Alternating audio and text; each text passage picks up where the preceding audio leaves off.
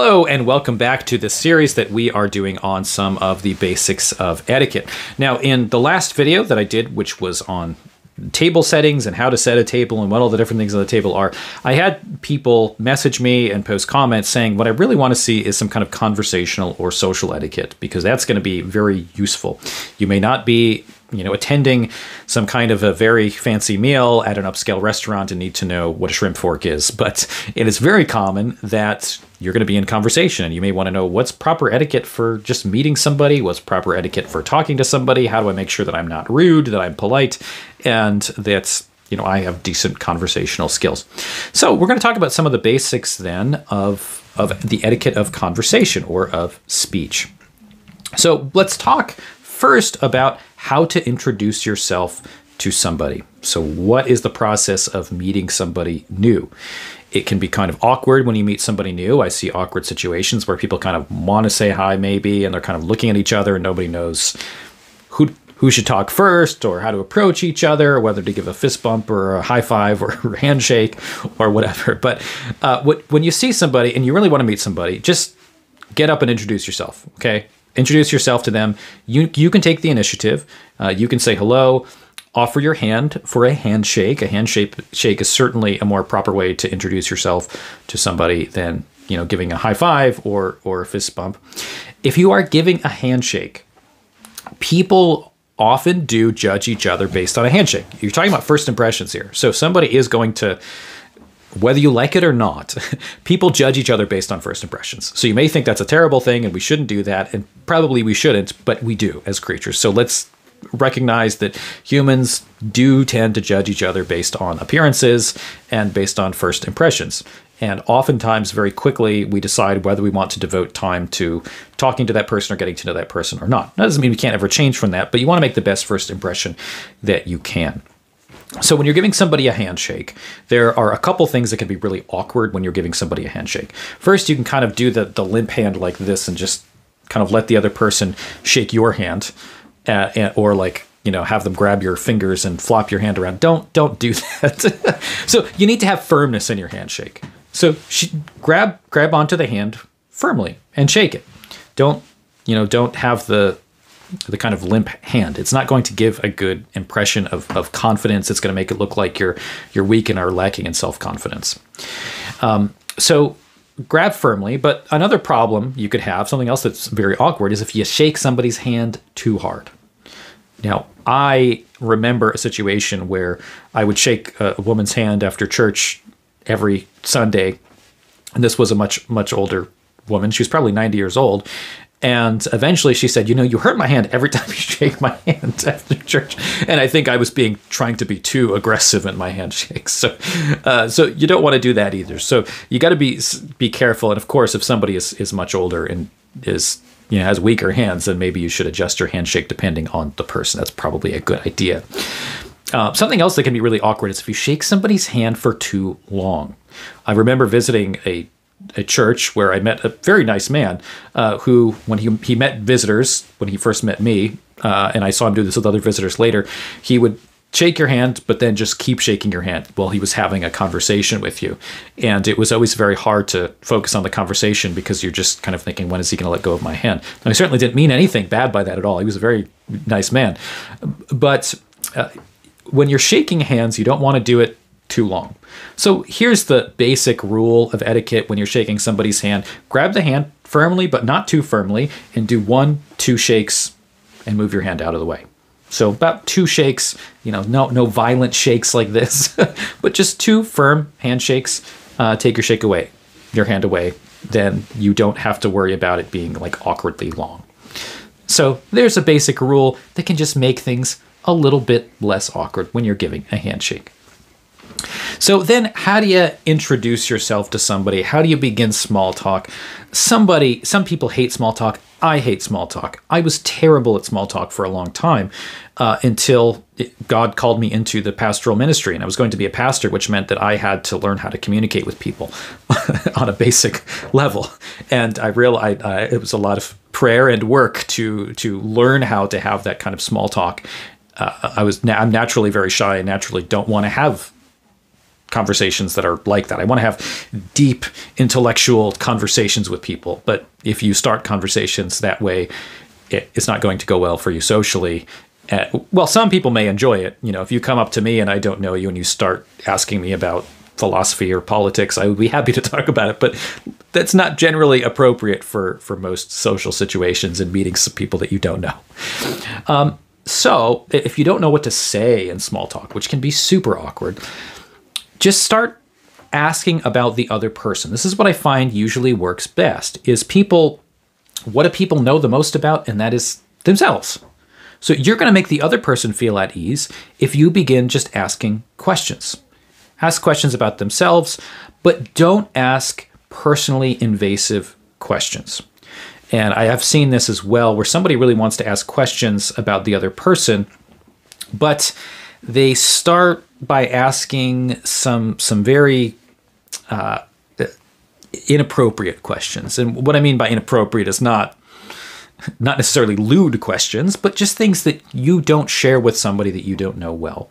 So something important about etiquette is that you have to earn people's trust. You have to earn your way into knowing more intimate details about somebody's life. So don't just presume upon somebody. Don't just presume, you know, I know, I, I, I want to know what your salary is this is not an appropriate question uh, to ask when you're first meeting somebody. In fact, it's never an appropriate question to ask. So don't ask anybody what their salary is. Uh, but you may have some kind of pre-prepared questions. You know, say you meet somebody. It, it depends on the event. So say you meet somebody at your friend Tom's house. Right? Go up to the person and say, "Oh, oh, hello. My name is." You know, introduce yourself, and they introduce themselves. Say, "Oh, how do you know Tom?" And then listen to what they say about how they know Tom. Now, the way to follow up on that is to then listen to what their answer is and then ask a question dependent upon you know what their answer is. So they say, "Oh, I met Tom, you know, at the whatever club," uh, and you say, "Oh." Are you in? How long have you been part of that club, or whatever the subject of that club is? You know, so you, you hope that they'll give you points of conversation and so you're, you're listening in your discussion for points of connection to be able to connect one point to the next uh, to the next it's good sometimes to just have pre-prepared questions too it, you don't have to not all conversation has to be totally spontaneous you can find examples of questions that people have prepared. I mean, you can look this up online. I didn't prepare any here to, to bring up, but sometimes it's it's helpful to just have some questions in mind when you're going to a certain event. And that can differ depending on what the event is. You kind of know what the general theme or, or idea of the event is. But have some some things in mind that you can bring up, so you don't get nervous and just not know what to say uh, when you when you're communicating. So when someone gives you answers, listen and then follow up on their answers. Um, it, it could be really awkward if you just have a series of questions and then you talk to somebody and they answer your question then you go through the next question the next question. So don't plan out a script for yourself because that also can be very very awkward and stilted. But have some general ideas of what you want to talk about. Have maybe some basic introductory questions you want to ask and then let the conversation flow from there. So do some active listening which means listen to what the person is saying and think about how to respond in a way that connects with what the person is saying or ask further questions about what the person is is saying. And most likely if you start to ask questions, then they'll ask questions about you as well. And once you start talking about yourself again that's the thing you know the best. So so you should be able to communicate that. But don't dominate the conversation just talking about yourself. So what you don't want to do is introduce yourself to somebody, ask questions about them until they ask questions about you, and then say, okay, well now here's what I really want to talk about. Let me just go on and on and on about myself. So make sure that that kind of back and forth is continuing uh, to to to happen throughout the conversation. So I've had conversations with people who are, you know, very shy, don't really want to talk at all, and sometimes it takes a while of asking a lot of questions about them and showing interest in them that then they start to open up and, and feel comfortable. So it can take a while. They may not, don't be offended if they don't immediately ask back to you, well, how about you? Act like you want to talk to them for more reasons than just you want them to say something so you can say something, but you actually have genuine interest in them. Uh, just some basic things that you should do when you're meeting somebody make sure that you have fresh breath, uh, you know, brush your teeth or use a mint. Put deodorant on. don't smell bad. If you smell bad or you you're too close to somebody and you breathe in their face and your breath smells bad, it's going to really leave a very bad impression on that person. It's always a good idea to check your teeth to make sure you don't have food stuck in your teeth. For me, it's much it's a better idea to check my beard because I have a tendency to drop things in and they get stuck in there when I don't see them. So, especially if my wife isn't around, because she'll always point it out to me before I embarrass myself. But check, you have to check in the mirror for that. Um, keep your fingernails clean. Again, that, that can be one of these things that just leaves a really bad impression. That you know, even if you were just you know out gardening, and of course you're going to get you know dirt in your fingernails, and that's not a bad thing. But if you don't clean them, you know, it, it gives the impression of well, that person's dirty or that person doesn't shower. You know, even if it's obviously not the case. So clean your fingernails before uh, you meet somebody. You don't want to shake somebody's hand and have the first impression of you looking at your hand be that you're dirty. And, you know, just look in a mirror to make sure your hair is not sticking up. That always helps as well, especially if you have a cowlick on the back of your head like I do that it's constantly sticking up. uh, okay. Um, so, another point of, of meeting somebody is do not act overly familiar with somebody that you just met. And this is what I said. You, familiarity is something that you have to earn. And it's a I think this is a major problem in our society right now is that people act like they know each other well when they don't. And this is something I've seen that's a generational gap as well. So I, I think a lot of uh, Gen Z, a lot of Zoomers presume a lot more from internet relationships than do people in other generations. So you may, you know, know somebody online and feel like you could kind of joke with them like you know a friend. But that's not always the case, and it's not always appropriate.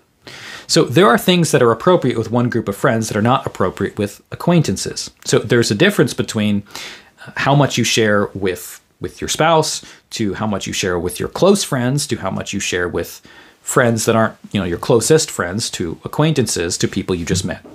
Those are all different categories of people in their relationship to you, and there are different levels, levels of formality with which you address those individuals. You have to earn a relationship with all of those groups before you can share certain things with them. So you have to earn personal intimacy with people instead of just assuming that they're going to tell you things or that you should be able to share very intimate things with somebody that you're not really that close with. You haven't earned that kind of intimacy with that person either. So when you're sharing with somebody, sharing information about yourself, when you're asked, don't share too much. Uh, don't emotionally dump on somebody that you just met. If you just meet somebody for the first time and you're having a really terrible time, it, it's it can be very awkward if you just kind of dump everything on them. Again, you haven't earned that with that individual. However, I will say if somebody dumps emotionally on you, then if they're doing that, listen to them and give them support. Okay, so if somebody does that to you, don't correct them and say, uh, "We don't know each other." Be be gracious to them and give them whatever support or help that you can in that situation. Here's one that I think should be clear, but it is certainly not clear in our society today.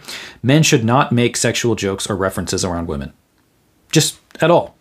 And it, doesn't matter what level of familiarity you have with a woman or you think you're close with a woman, it's not okay to make crude jokes or gestures to women at all. In fact, you just shouldn't have any sexual jokes and references in large public settings. It's one thing if you're a guy and you are around a group of close guy friends and you can joke around about certain things, but don't do it around women and don't do it in public spaces. You could even not do it in those spaces either, but uh, but it's certainly not appropriate to do it in, in public spaces and, and around women. So men should behave differently around women than they behave around other men. They they should, and that's not being inauthentic. It's just recognizing that the, the dynamics that are at play there, and recognizing what is socially appropriate in one circumstance is not socially appropriate in another circumstance. If you are uh, meeting a, a pastor, refer to to that man as a reverend. If you are meeting, you know, a business superior, use titles Mr., Mrs., Doctor. If the individual gives you permission to use their first name, then you can use their first name. But don't just presume you can speak to people by their first name. If you are making an introduction, uh, if you are, say, introducing a child to an adult, always introduce that adult as Mr., Mrs., Miss, Doctor, Professor, Teacher, whatever title that individual has. Uh, don't let your child just call people by their first names. And I know that this is a practice that's common. I think it is is inappropriate, and I think that it is important for children to learn about social structures and to learn respect. We we are we like to be an egalitarian kind of society, which in its fullness is very unhealthy. you you have to acknowledge that you are the parent and they are a child. The child does not have the authority of the parent. The child, the student does not have the authority of the teacher. There are distinctions in social roles that are simply necessary to have society functioning in any proper functional way whatsoever.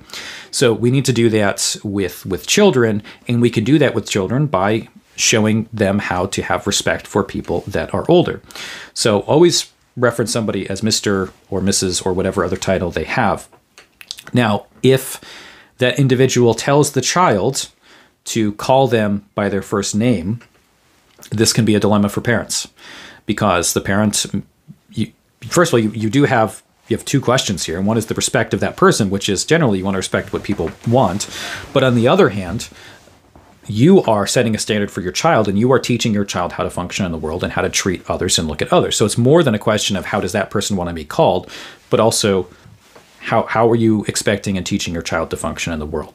So, my general practice is that if that person says, please call me by my first name, what I tell the child is, what I tell my kids is to refer to them as Miss or Mr. and then first name if they want to do that, because it still gives a title and a, a kind of respectability, but you have the familiarity of using the first name.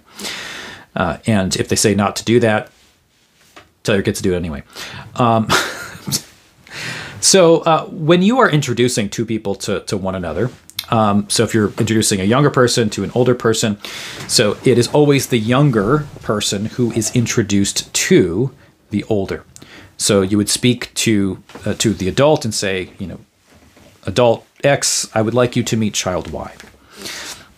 Uh, when it's an introduction between a man and a woman, um, the introduction is you introduce the man to the woman, and so you'd say to the woman, you know, Sarah, I would like you to meet Joe, whatever the names are.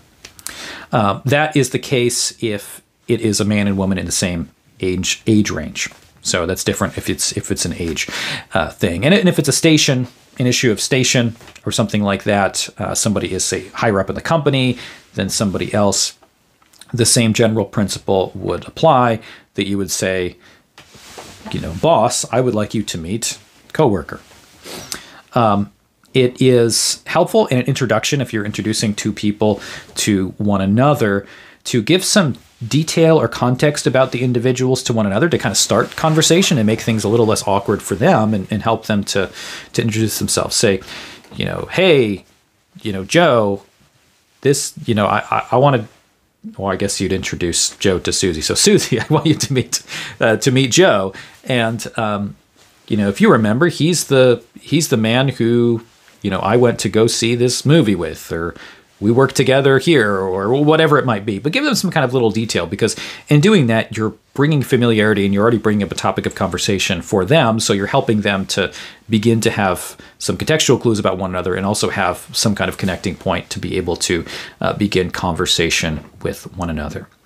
So that's the end of uh, this talk in our etiquette series on how to give introductions, but this is the beginning of a number of talks that we're going to be doing on speech and other areas of etiquette. Thanks so much for watching. Make sure you subscribe.